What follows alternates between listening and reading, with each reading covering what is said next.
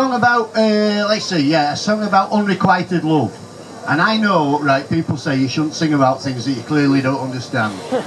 and you're looking at me and thinking, clearly that man has never experienced unrequited love. Look at him with his long flowing locks and his sophisticated air of charm. Well, what are you laughing at? Now, right. Uh, I have, I have, and I can, I can, I can prove it because I bought my house four times now from four different women. All called wife, and each one more beautiful and beguiling and sly than the last, right? But now I, I found a, a, a, lady who loves me, and I can tell she. And the fact that she's 19 and gorgeous has got nothing, and, and I'm loaded, has got nothing to do with it, right?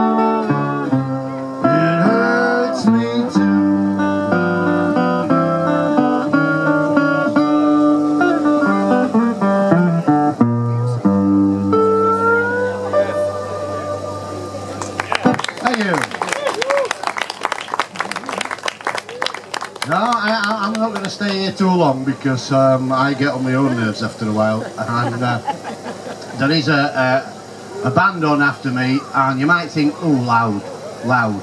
And when you see them, you might think, oh, look at them, they look like like Rolling Stones would have looked if they hadn't had a wash, you know? Like, really look like. But they're lovely lads, and don't let don't let that, uh, that appearance fool you. They, they are lovely, and they're right nice and everything. They're only there. So that's I'm saying that. Look, uh, just look at him with his big sinister beard and his sunglasses. It's, it's if I don't say nice things about him, they'll put that another horse's head in my bed or something. Right? Well, it wasn't a horse. Well, it was a horse, but it was a hobby horse with some red paint on. But it was a warning enough for me. Right. I'll just do this one more, right? But before I go, I'm going to tell you about this guitar. I did make this myself. I made body of this guitar from wood from an MFI wardrobe. Right. You remember MFI wardrobes? If you put your shirt away too fast, you used to knock back straight out, didn't it? Back at fall out. Right, and I got fed up of Blu-Tack it back back on.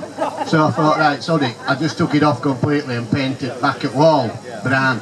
And uh, I've had this piece of plywood, didn't know what to do with it. So I made this guitar body out of it, right? This bit, the metal bit, I didn't make out of a, a wardrobe. This, I don't know what, what it was for, but when I was a kid, there used to be a bucket in my grandma and granddad's bedroom, right?